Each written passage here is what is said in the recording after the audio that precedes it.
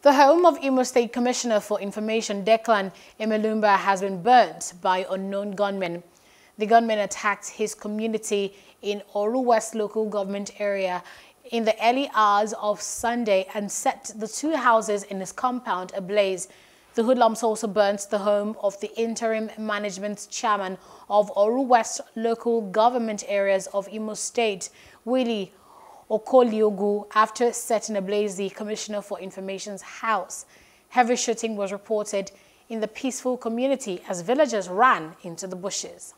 Hello, hope you enjoyed the news. Please do subscribe to our YouTube channel and don't forget to hit the notification button so you get notified about fresh news updates.